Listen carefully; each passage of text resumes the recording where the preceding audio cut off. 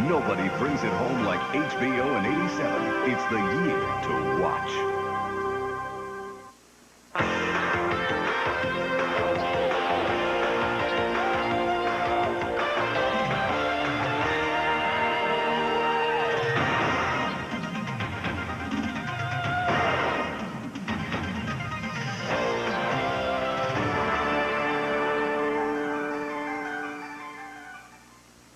Following movie has been rated PG by the Motion Picture Association of America. Parental guidance is suggested. Once upon a time, in 1985, there lived a young man named Marty McFly. A lovely lady held him in thrall. His noble family had far to go. Marty was a brave lad who took setbacks in stride. But even Marty wasn't prepared to be set back quite as far as he was that night in the Twin Pines shopping mall. You built a time machine?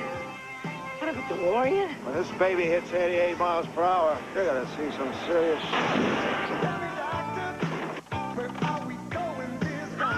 Which one's your papa? That's him. Maybe you were adopted. What's with the life preserve? Apparently your mother is amorously infatuated with you instead of your father. So once upon a time, in 1955, there lived a young man out of time whose only quest was to get back to the future. Premieres Wednesday, April 1st on HBO.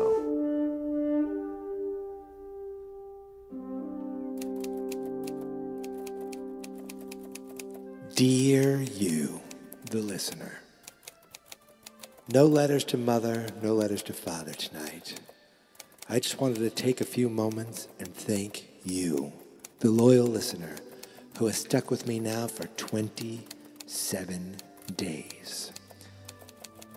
After today, the show will be a little different for the remaining days of Marchy McFly, but the plan is they'll all be here every final day of Marchy McFly. And I'm doing it because I have something wrong with me. Also because I love doing it very much. Um, that's all I have to say. I don't even want to talk in this voice anymore. So thank you so much for listening. Thank you for staying with me. Um, I can't believe I have to now photocopy all of these letters to send to the dozens and dozens of my listeners, and you know who you are. Specifically, you know who you are because there aren't enough of you to not know who you are. Um, but yeah, now I gotta get stuff these in envelopes and mail them out to each and every one of you. Um, and I appreciate you. Happy Marchy McFly. Sincerely, Michael, March 27th, 2021. One, two, three. Marchy McFly, Marchy McFly. Marchy McFly is Marchy McFly. Marchy McFly is Marchy McFly.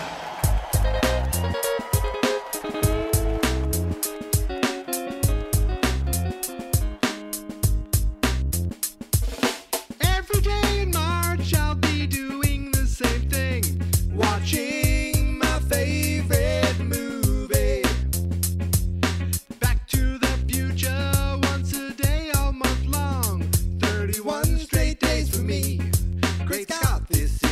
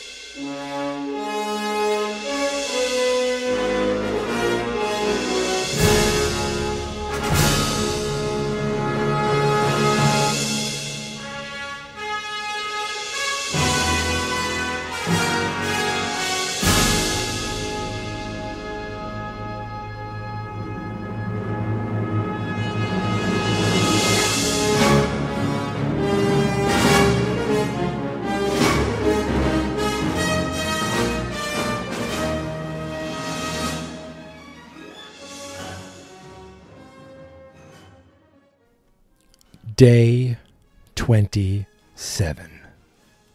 March 27th, 2021, for the 27th day in a row.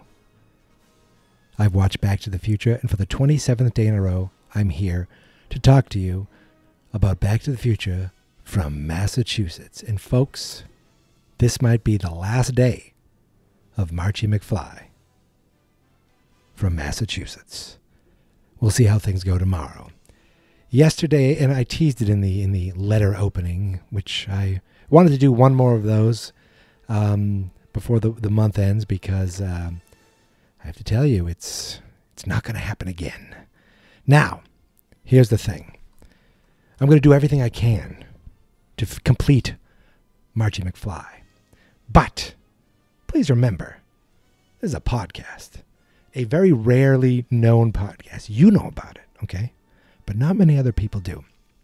I talked about real life something happening yesterday. And without going into great detail, my father in law in Florida isn't doing so well. He yesterday wasn't uh, great. Today seems to be a little better.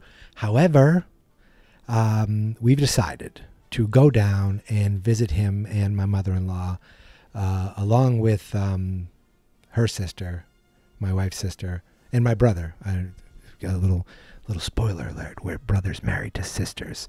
Um, we're going to go down and see him and spend a few days with him and um, just kind of hopefully be by his side and try to root him back into getting better. Imagine if I if I said to my wife, uh, dear, I can't go with you. I have to continue podcasting about Back to the Future. You see, that can't happen. That wouldn't happen.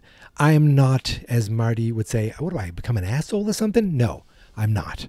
I'm a good husband. I'm a good son in law. He's a good man. No, I'm not patting myself in the back, but um, it sucks. You know, I'm not talking about the podcast, just life in general, getting old.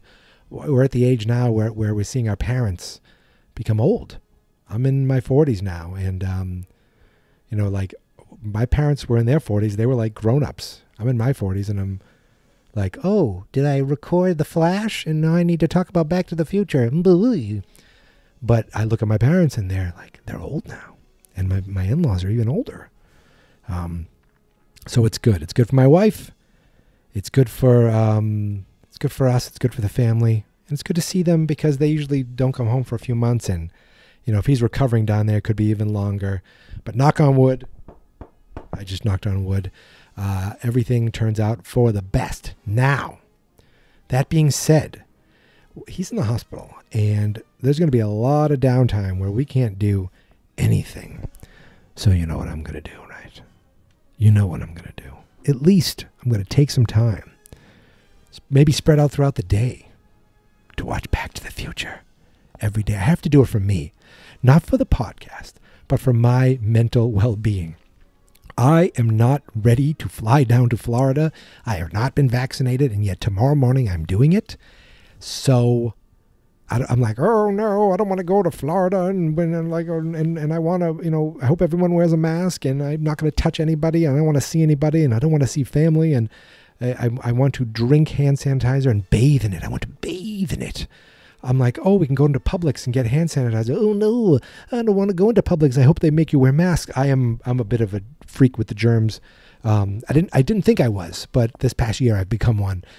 Uh, and I don't like flying all that much anyway. But Here's the thing I've downloaded Back to the Future to my phone, I've downloaded it to my Chromebook. I am fully equipped.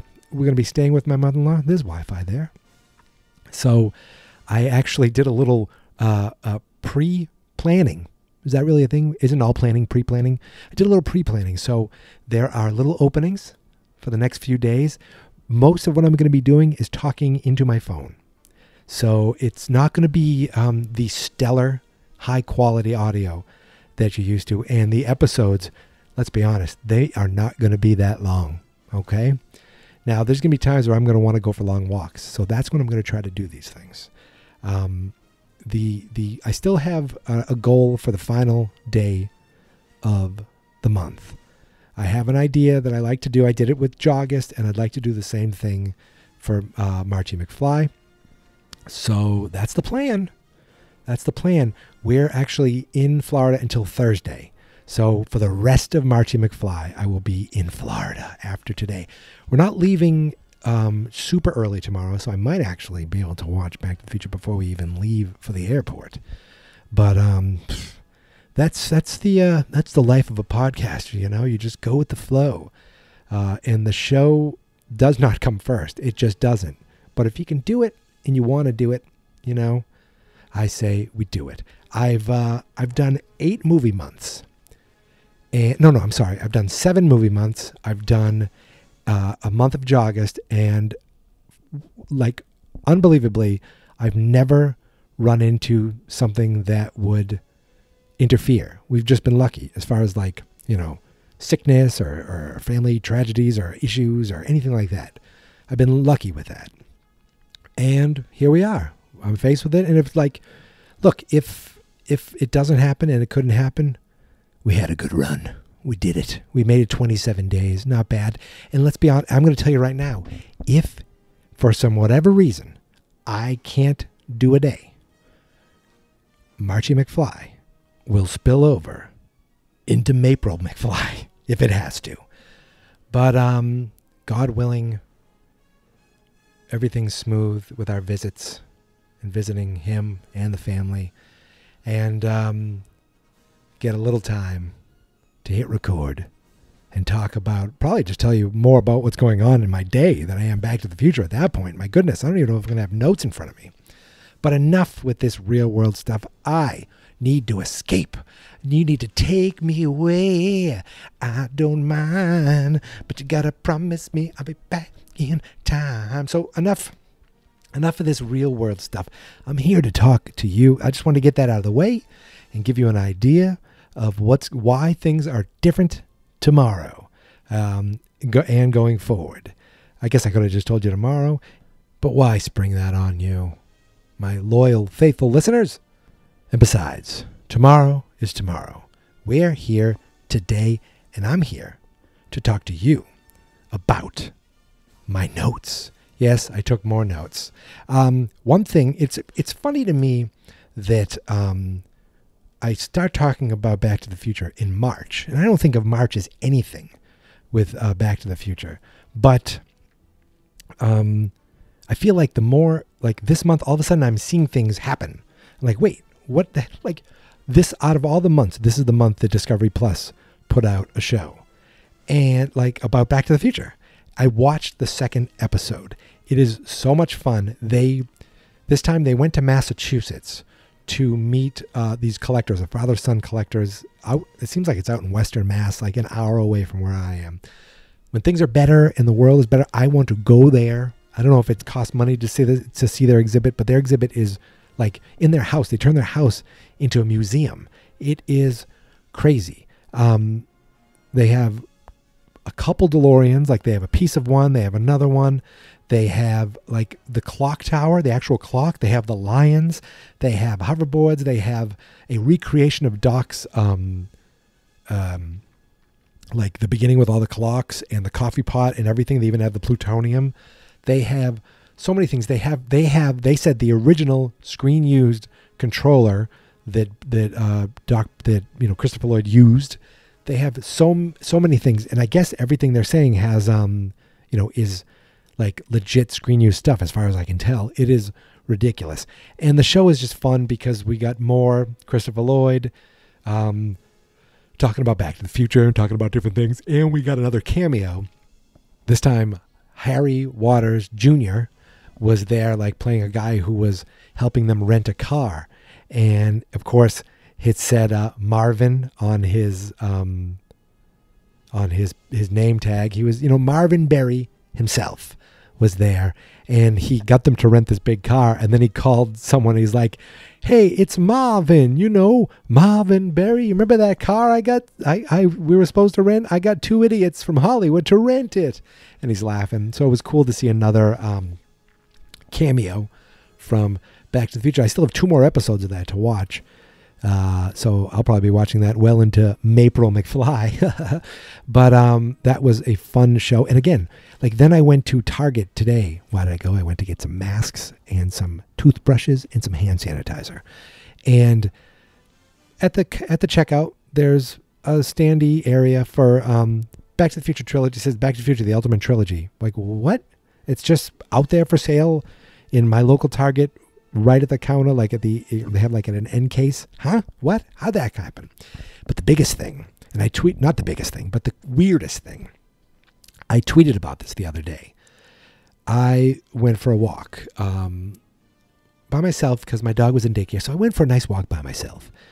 And I, I, so my street, like you go down a hill, then, it, you know, it goes down a little ways. At the end, it, it breaks out into another street. So you can take a right, you can take a left, but there's a corner and, you know, there's cars. You got to watch where you're going. And a guy in a black scooter went by, like the old fashioned scooter, like you saw, like Jason Bateman use in the Hogan family, the, the scooter you wanted from the 80s, one of those type of thing, like a Vespa, but not a Vespa, like a little Honda or something. He's driving by in his black Vespa. I'll call it a Vespa. And he's got a little helmet on and he's got a radio playing. And I swear to God, when he turned the corner and the radio, I could came in like you know when you kind of hear a radio coming in from a car and then it goes ooh, and then fades away. I heard the voice of an angel, the voice of Huey Lewis, and it was like, "Don't need money, don't take fame, don't need no credit card to ride this train." And I was like, "Oh my god!" I wanted to grab a skateboard, skate up on behind the scooter, grab the end of it, and just have him take me home. It was ridiculous. I said, "How is that possibly happening?" In all, like, out of any time that would happen, like, what the hell is going on here? So I immediately tweeted about it. True story, and I forgot to mention it for the last couple days. Uh, but I just thought that was ridiculous. So I just feel like, you know, maybe it's me looking for signs. I feel like maybe when I was, no, I don't think so. When I was doing Jawgust, it really wasn't. I don't. I don't remember seeing these things happening. I remember seeing lots of YouTube videos about Jaws because all, all I did was search for them. But um, you know, there was never the uh, there was never these weird little coincidences. Like what? What is going on? Uh, another one is, and I haven't listened to it yet, uh, but Christopher Lloyd is on Marc Maron's podcast. And I'm like, what? I didn't even know that. I need to listen to that. And I have to uh, give a, a thank you to David Allen, my friend on Twitter at Piano Lullaby, for letting me know about this. I have something now to listen to. Maybe while I'm, you know, sleeping on the plane. Well, awake on the plane, but um, I don't know. I have so many things I've downloaded to watch on the plane tomorrow, but uh, I look forward to listening to that, and I, I, hopefully I can listen to it before the month is done. I already have it on my pod on my uh, uh, podcast app, so you know that's the plan at least. Thank you, David, uh, again for pointing that out to me. David, all the way from the UK, which I believe stands for United. I want to say Kingdom, but I'm not a thousand percent sure on that. Um, Anyway, anywho, I, I like anywho. It's so much funnier. I actually have like paper notes too. I have paper notes and I still have my Evernote pad of things that I haven't talked about. Um, so why don't we do a few quick notes before yawning and calling it a night? You know, these episodes I wanted to do, I wanted to do kind of like themes. Like I was going to do one that was going to be the, either be called um, This One Goes Out to All Your Lovers Out There or Don't Nobody Go Nowhere or We're the Pinheads, where I talked about all the music um, I talk about I mentioned uh, the Harry Waters who played uh, played um, Marvin Berry and how he's like a professor now, like a like a like a professor in drama. Um, I wanted to talk about, of course, Huey Lewis and the whole thing with. If you ever look up, uh, you know, Huey Lewis before he did Back to the Future, he was actually asked to do a song for Ghostbusters and he turned it down. And then all of a sudden, Ray Parker Jr. shows up with Ghostbusters, and it sounds a little familiar. Um, if you didn't know that, you know, I'm not going to take the time now to, to pull the audio. I was going to do this whole dramatic thing. I'm going to do it for you now uh, with my voice. Ready? Something strange in the neighborhood. Ghostbuster.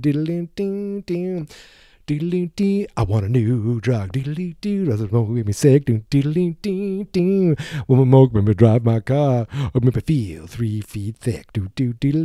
Excuse me. Does that sound familiar? Oh yes, it does. Because Ray Parker Jr. stole the bass line, stole the line from uh, Mr. Huey Lewis himself. That's why Huey has a thousand hits, and Ray Parker Jr. has a do do diddly dee dee a do do diddly dee dee.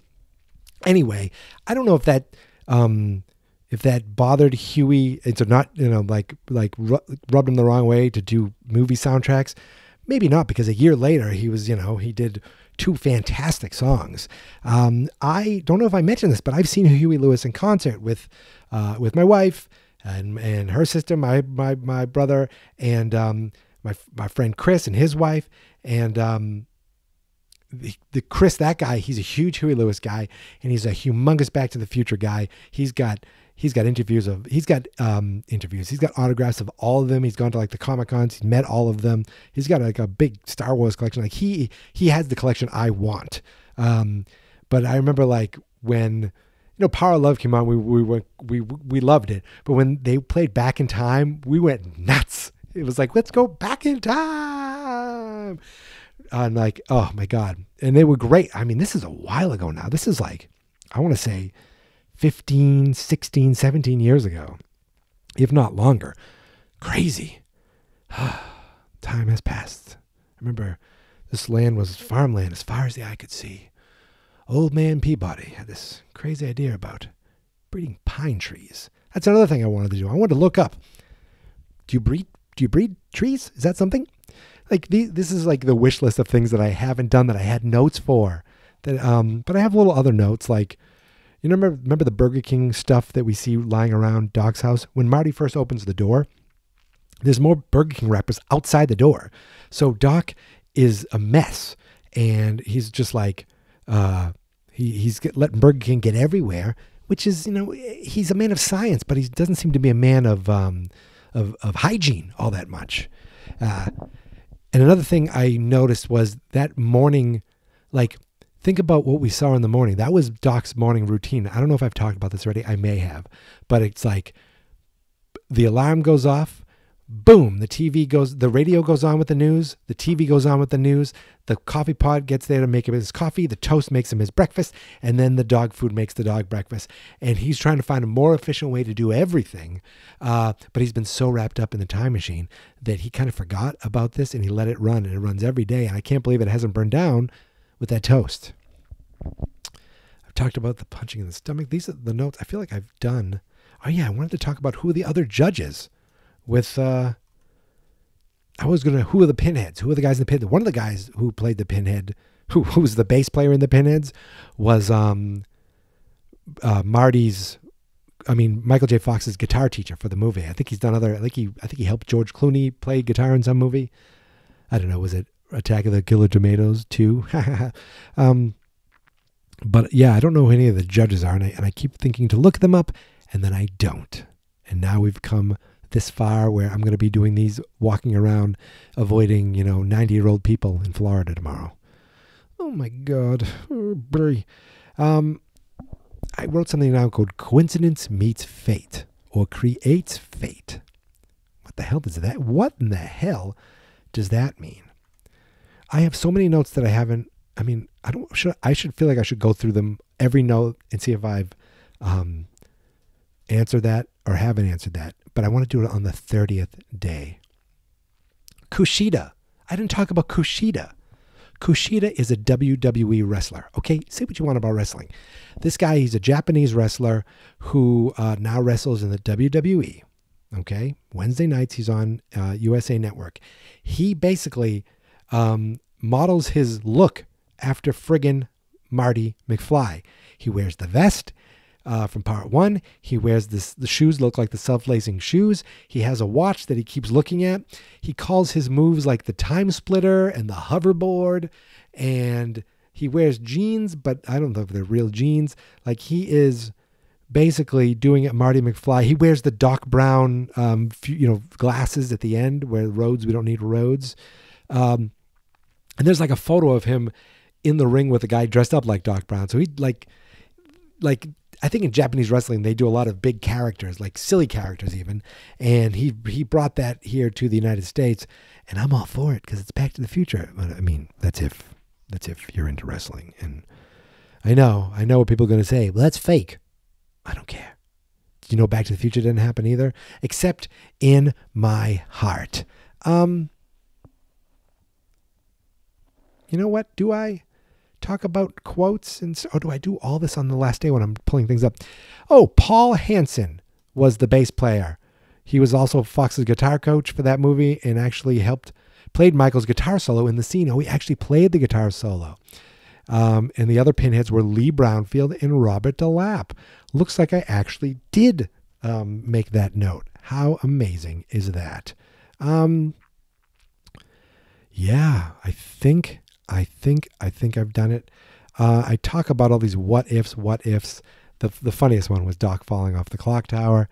Um, I still want to know what Marty and Doc did with the bodies of the two uh, um, Libyan terrorists. Um, I wrote down Marty invented skateboarding, rock and roll, and he sort of invented time travel because he, his, him showing up actually pushed Doc to succeed in in, in create time travel. Um, right? I mean, that's that kind of is that loop, that time loop, that is so uh, so amazing about these time travel movies. I love when they do that thing. Yeah, I said, what is pine trees? Look that up. I never looked it up. I was going to look up define flux and define capacitor because flux means something's in flux, like it's constantly in motion and change. And I guess that's what you're doing. You're changing time. I don't know. Uh, oh, and finally, I'm going to talk about one more note. Um, oh, was Marty going to turn at the Fox photo booth? He drove straight at it. And then he went back to 55. But what was he planning on doing at that point? Was he going to just turn at the last second? Probably. That DeLorean, he could handle that thing. Kid's 17. He drives like he's like, you know, in NASCAR. Uh, and the last thing, and I feel like I have, I don't know if I've said this already, but when he's like, unless you know somebody who plays guitar, and then all of a sudden we see Marty playing guitar, Marty's out of tune. Listen to that first chord. It's a, and they say we're in B, but it seems like they're in B minor, so they might be tuned down. Uh, but he's like bling bling bling, like the guitar is really out of tune. But um, I think it has to do with him kind of fading because later, when he's when he pops up at like the greatest music cue in in cinematic history, or at least the greatest music cue in that in that movie, when this the fading of the and then George goes to kiss Lorraine and love and the happiness, whoa, and like it works. Like the music comes back and then boom. Uh, uh, Michael J. Fox pops up, and it's like um, Marvin Berry's even like inspired by that. And he he belts out singing more, big smile on his face, and George is making out with Lorraine and waving to Marty, and Marty's waving and sees that his hands back. I mean, come on. It doesn't get any better than this. There are so many climaxes in this movie. That sounded creepy, but there are so many like major moments. It's, you know, the punch is the change in George's life. The kiss is the change in George's life and Marty's life going back to the future, and then of course seeing um, everybody, and then of course flying off into the future at the end. Uh, but we're not at the end. We're not at the end here, folks. We still have other days left, many other days left, and by many I mean 28, 29, 30, and 31. After today, there's only four more days left. And all those four days will be shot on location. I'm excited to see what happens. Uh, I'm not excited to go, but it'll be really good to see my father in law and for my wife to be able to see him. Um, but other than that, I think I've done, I think I've nailed it. You know where to find me on Twitter and Instagram at Geek Mentality. The Facebook page is Fans Not Experts, and the website is fansnotexperts.com. Um, I have the end saved for every episode tomorrow, but you might be like, I might say my big finishing line and then a second goes by before it starts playing. So please uh, excuse the crudity of the upcoming episodes. I don't have time to edit them or paint them to scale. And that's all I have to say. And with that, my friends, here is my theme song. This is my podcast, I made it. Geek Mentality's what I named it. And I think you should listen and subscribe. Cause I'm kinda funny and awesome. I think that I'm worth your time and I'm kinda handsome. My mom says, please listen and Please subscribe. At least listen to this episode. What are you looking at, butthead?